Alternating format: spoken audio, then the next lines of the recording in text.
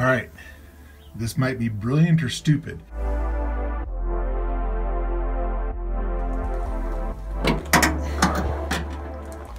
Hey YouTube world. So,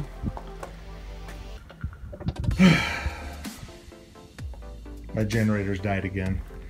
Um, I've cleaned it a couple times, taken it apart just in the car, taken out the brushes, just cleaned up everything. It lasted about a week and then it died again, so I just brushed it out again. It lasted about three days and that's it. So I've got a uh, an alternator kit that I'm going to put in here.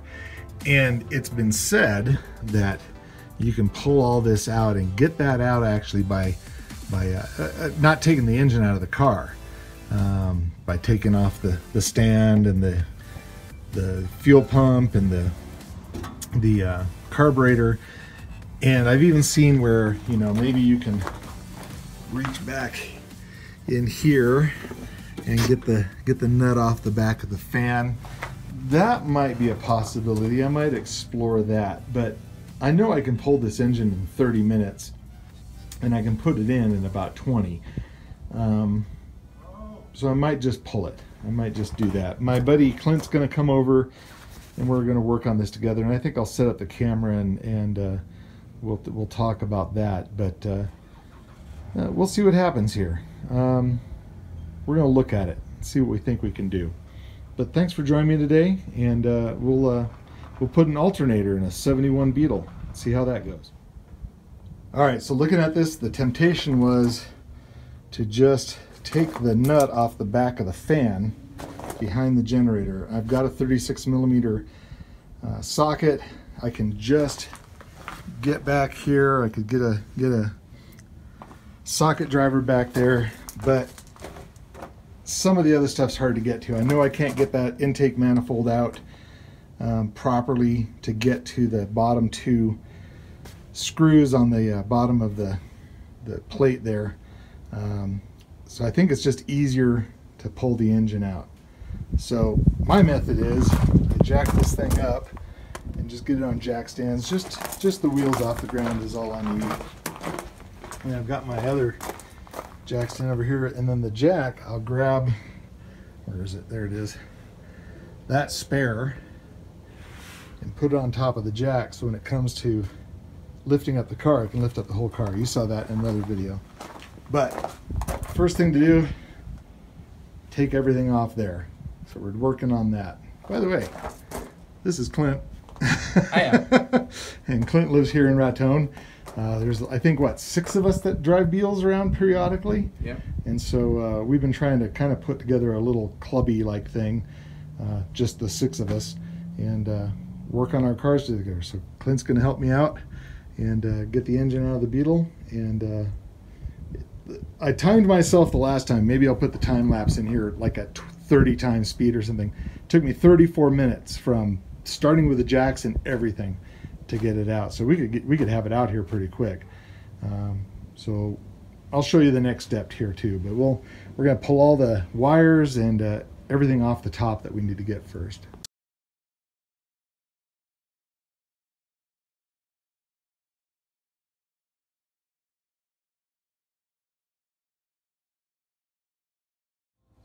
So where are we at here? Well, where we're at is we got the engine out. This one-handed. This is a test.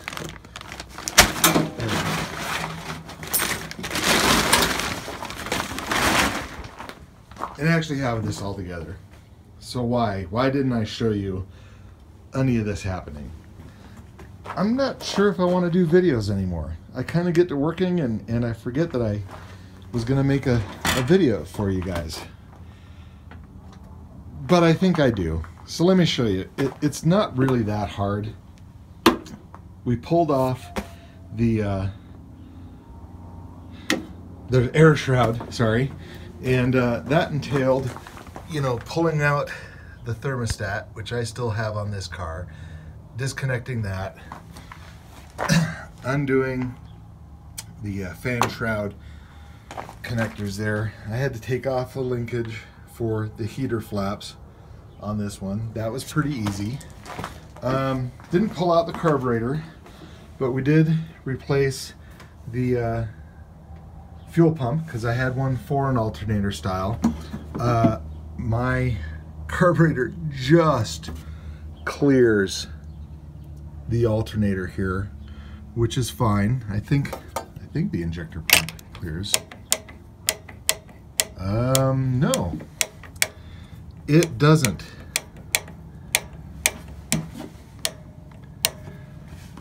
I gotta buy more parts. I've got to buy the little stand uh, for my carburetor. Well, that's good to know. So I won't be driving this to lunch today uh, because my carburetor does not clear. Um, it does though.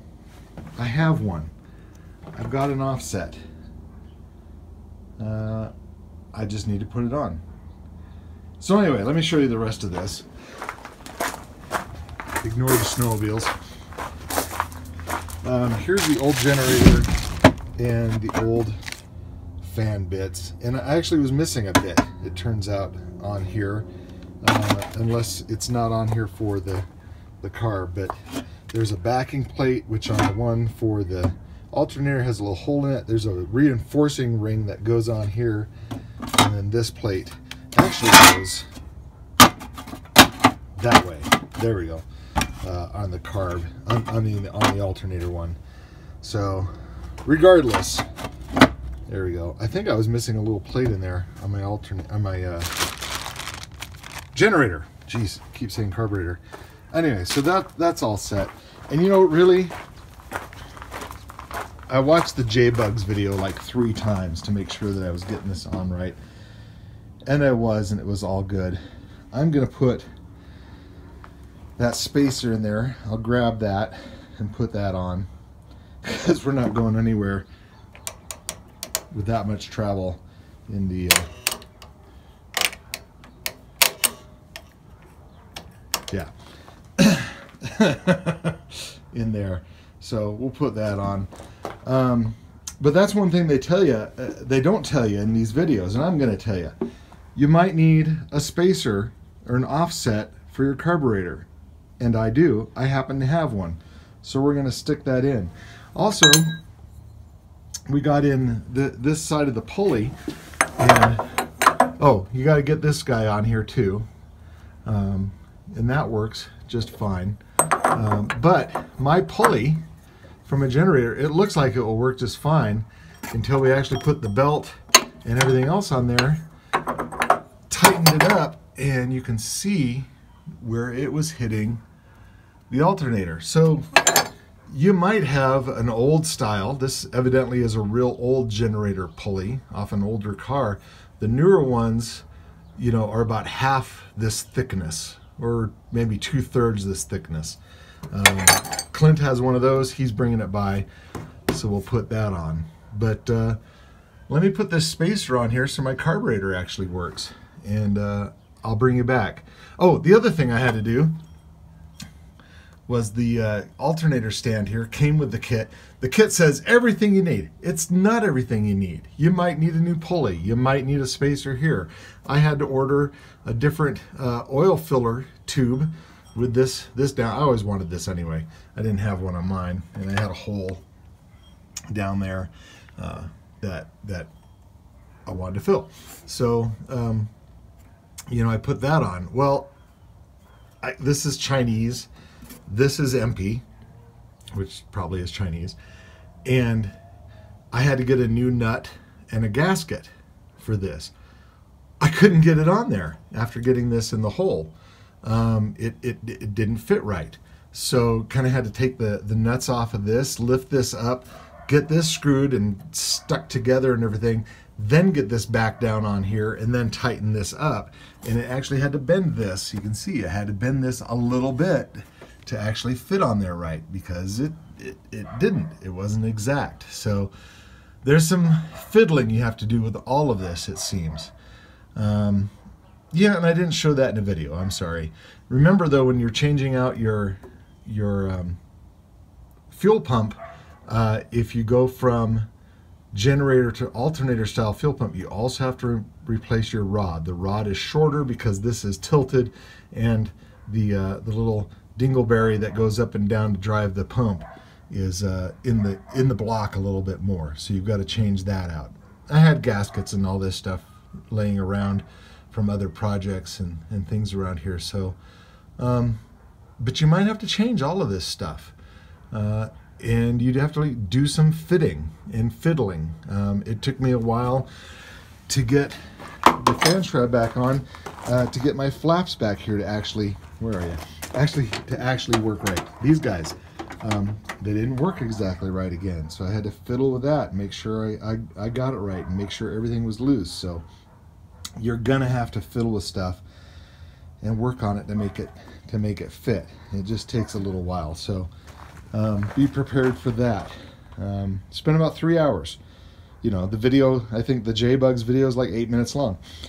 it really, it took about three hours of fiddling to get all this this stuff together and, and fit on here right. So, and as you see, it's it's still not exactly right. So the next thing we're gonna do, or I'm gonna do, is looking at the instructions here, you have to uh, do some of the wiring underneath the seat. I'll bring you back, I'll pull that out and, and show you. But I actually got the connectors for those. Those don't come with a clip, clip either. The kit. Jeez, you need a, a, a Y connector here and you need a straight through connector here. I actually had some Ys that didn't a straight through, so I had to wait for those. Um, so that'll all be neat. Be together here. It shows you where in here. Doesn't show you anywhere. where you got to do that. Um,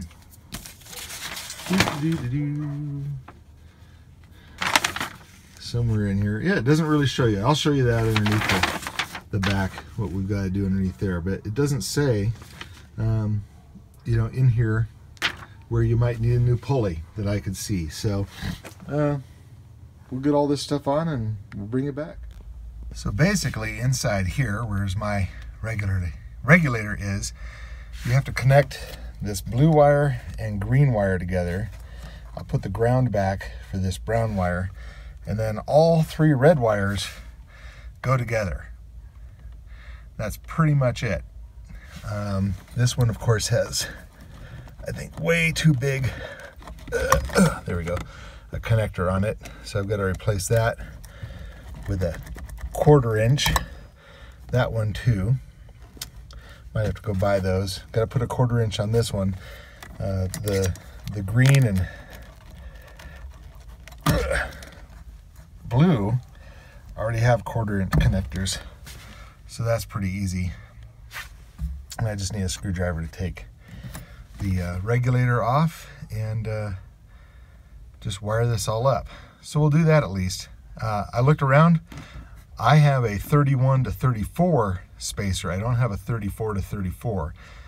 I'm going to think about um, taking a file to the case on that alternator and just making some room for the little lever uh, to, to turn. We'll see. I'll try that out. Okay, so we've taken out the voltage regulator, and like I said, we've connected the blue and green wire together. Didn't have to do anything to them, just put them through a single connector like that. and then the three red wires, I had to take off the original terminals because they're they're large. They're uh, bigger than a quarter inch. Um, and put quarter inch terminals on there and then put them through a Y connector like that. And that's all you have to do inside because the um, focus because the uh, alternator is internally regulated and so it'll take care of all the regulation. This just goes to the battery, to the alternator, and then to something else. Where does that go? I think that goes up to the starter. Um, so we're all set. That's it on that end.